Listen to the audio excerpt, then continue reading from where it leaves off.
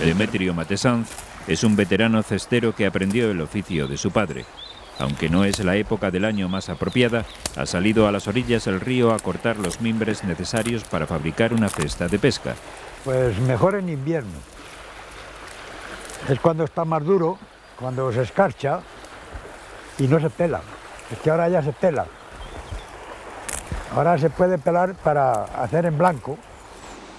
El mimbre blanco, utilizado en labores más finas, había que pelarlo para dejar visible su parte leñosa. Con este palo le doblamos, ahora le cortamos por aquí,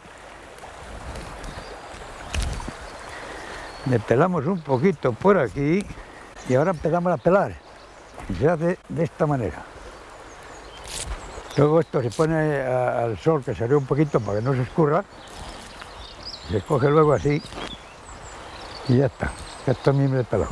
Esto para las cestas blancas. Se puede hacer para las cestas de la ropa, antes se usaban para llevar la comida al campo, para muchas cosas, para los huevos. Bueno, pues el mimbre negro se puede cortar en invierno y en primavera. Pero claro, en primavera hay que quitarlo las hojas. Y lo quitamos de esta manera. Claro, esto es más entretenido ahora que en invierno. En invierno, pues como no hay que quitarlo la hoja, pues nada, nada más cortar. Bueno, ahora hacemos la carga y nos vamos. Ya con esto ya tenemos bastante. Demetrio ya tiene suficientes mimbres para elaborar una cesta de pesca, como las que utilizaba en otros tiempos, cuando esta técnica no estaba prohibida. Pues ahora vamos a empezar el cimiento de, la cesta. Vamos a empezar a cortar los mimbres para, para el siento. Hombre, cuanto más tierno mejor, mejor se doblan. Estos están buenos ahora. Pero hace falta ocho. Pues ahora vamos a empezar el, cimiento segundo. Vamos a hacer lo siguiente. Pues esto hay que rajarlo y meter este. Ahora rajamos otro y le metemos lo mismo. Ahora rajamos otro y hacemos igual. Y ahora otro más. Esto es el hacer el principio del culo, que se llama. Ahora cogemos este y le metemos aquí también.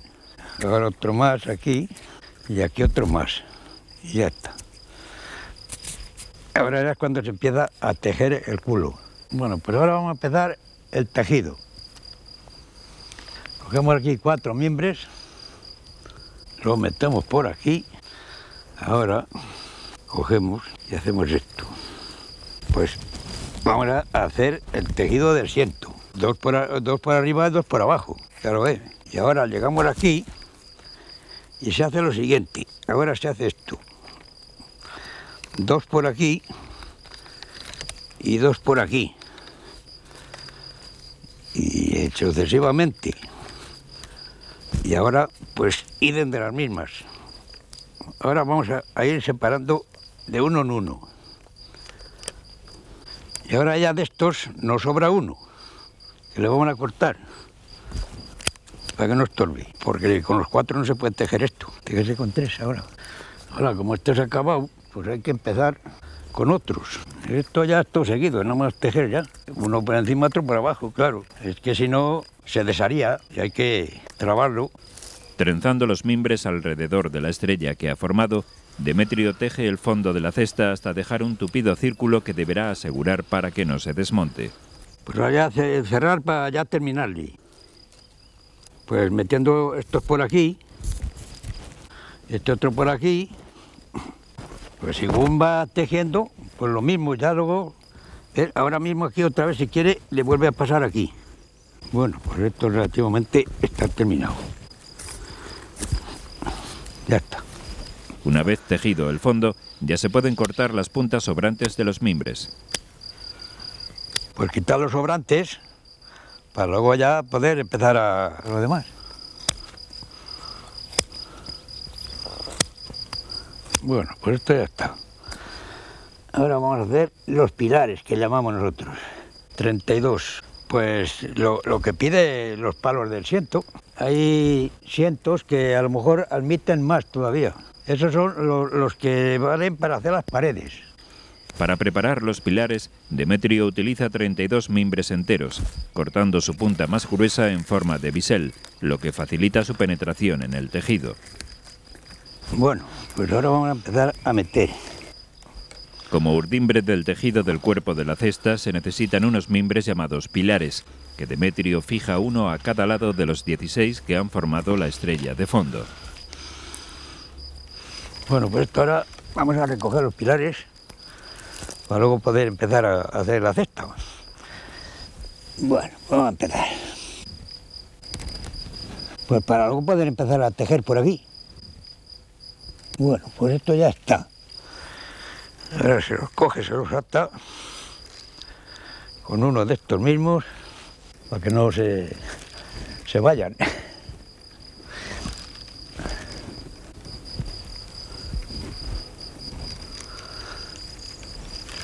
Bueno, pues esto ya está. Vamos a ver, vamos a empezar a tejer. Con 16. Este cestero de Pinilla del Valle inserta una vara de mimbre por cada dos pilares y las va trenzando alternativamente con los siguientes. De este modo se va formando un tejido espeso y consistente que compondrá el cuerpo de la cesta. Esto ya es todo lo mismo, igual que el paso doble, todo seguido. A medida que las varas se van terminando, hay que empalmarlas con otras, de tal modo que el trabajo de tejer el cuerpo se realice siempre con 16 mimbres. Poco a poco, Demetrio va avanzando en el tejido, pero llega un momento en que el grueso de los pilares se reduce tanto que hay que reforzarlos para que no se debilite el cuerpo de la cesta. Bueno, pues ahora vamos a poner uno aquí metido para que haga más fuerza a todo el cesto. Uno en cada uno, ¿eh? Esto es para que al abrir tenga más fuerza, que si no estos solos no, no tienen fuerza. Bueno, pues esto ya está para empezar a tejer. A partir de este punto, Demetrio coloca los mimbres para tejer, pero abriendo los pilares para darle una forma troncocónica al recipiente. Pues esto cada, cada vez que se vaya pasando el, el mimbre, pues se, se va abriendo un poquito y a medida que eso vamos avanzando, pues se va haciendo la boca. Las cestas para la pesca requerían muchas horas de trabajo, por lo que su precio era más elevado que los otros modelos que confeccionaba la familia de Demetrio y no tenían tanta demanda. Esto no lo hacíamos para vender. Los cestos, esto no, no merecía la pena. No, esta la hacía yo nada más una para mí. Esa, esas sí, esas las hemos vendido siempre. Y de, de dos asas para ropa, las hemos hecho muchas, muchas, y para coger las patatas, para cestillos para echar la piedra en las carreteras, que antes se echaba la piedra en las carreteras. Hemos hecho de toda clase. Pero ahora pues, con eso de que salió la goma ya y eso ya no, ya no se hace nada. La mayoría por encargo, pero aparte de eso luego íbamos nosotros a venderlas por los, Almeda mismo y ahí, bueno, ahí hemos vendido nosotras por miles. Pero nada más a Alameda y Oteruelo.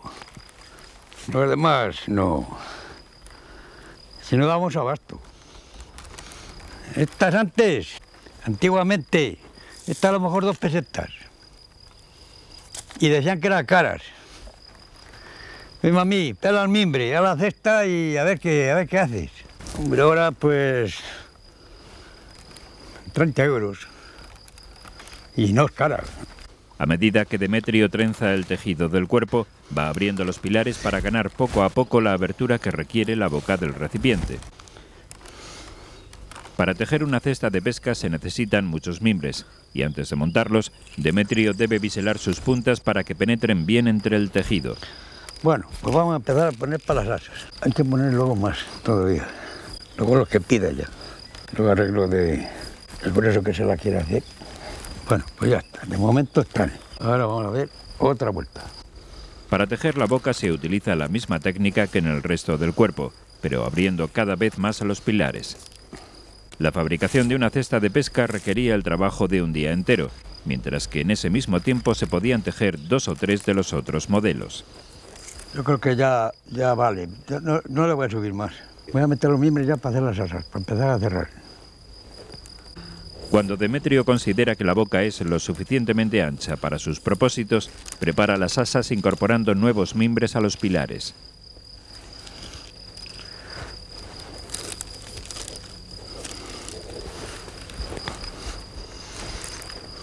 Bueno, ahora ya vamos a empezar a cerrar, ¿sabes? La terminación, la terminación de la cesta ya. Las asas deben quedar consistentes para resistir el peso de los peces y la fuerza del agua sin que se desmonte el tejido. Al trenzar con fuerza los pilares entre sí, este cestero de Pinilla del Valle consigue que las asas queden perfectamente unidas a todo el entramado del tejido. Pues este que retorcerlo para que vaya más, más preto, se junten más, se unan más. Ahora solo queda reforzar el cierre de la cesta. Para poder pasar los mimbres por el espeso tejido, Demetrio se ayuda de un palo de madera acanalado, llamado aguja. Todo la aguja para, para coser ya el, cierre de, de la cesta. Ya el remate, este es el remate final. Ya está. Le estamos afeitando ahora, para dejarle guapo. Un repaso de las puntas de los mimbres con la tijera dejará la cesta preparada para probarla en el río. Nada más ya. Ya está todo terminado. Ahora nada más ir a pescar. Ahora ya que venga el guarda y ya está.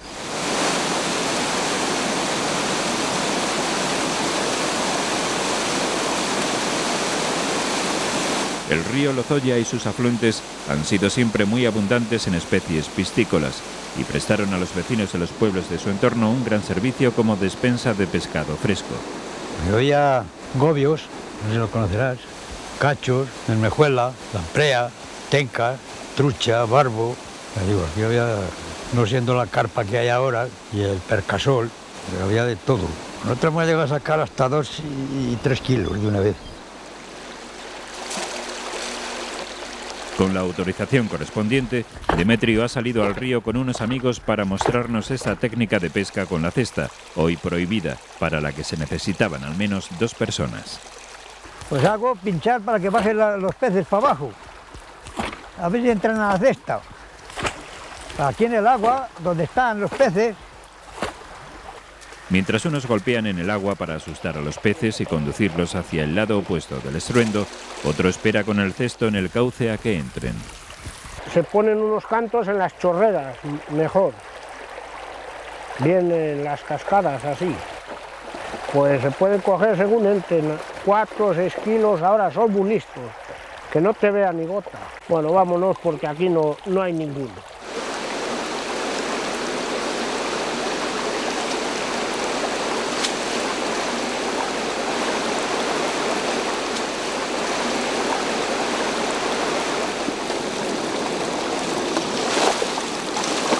Venga, deprisa, vamos. Venga, más deprisa. Venga, avanzando. Vamos. Más deprisa, venga, más deprisa. Venga, que no pinches tanto, vale, más deprisa, venga. Vamos, venga, que ya llega, venga. Venga, venga, ya. Venga, saca, saca. Ya está. Bueno, aquí tenemos una media docena de, de bogas y nos las vamos a llevar para cenar. Si quieren acompañar a alguno a comerlas, yo les invito. Pues fritas, escabechadas. ¡Vamos que se van! De su padre, Demetrio aprendió el oficio de cestero y las técnicas de pesca, conjugando ambas a lo largo de su vida en Pinilla del Valle, a las orillas del río Lozoya. Pues desde niño. Yo le vi a mi padre y claro, pues la afición pues siempre tira. En invierno, pues claro, pues había que ir a buscar el sustento. Con esto pues traía uno para, para cenar e incluso para vender. Ya verán las truchas, que era lo que más valía, y las vendíamos a duro el kilo. Soy Eugenio Monesma, director y productor del documental que acabas de ver. Si te ha gustado, te animo a que te suscribas activando las notificaciones desde la campanita y así podrás disfrutar de los cientos de documentales que ya tengo en el canal y de los que semanalmente voy a ir subiendo.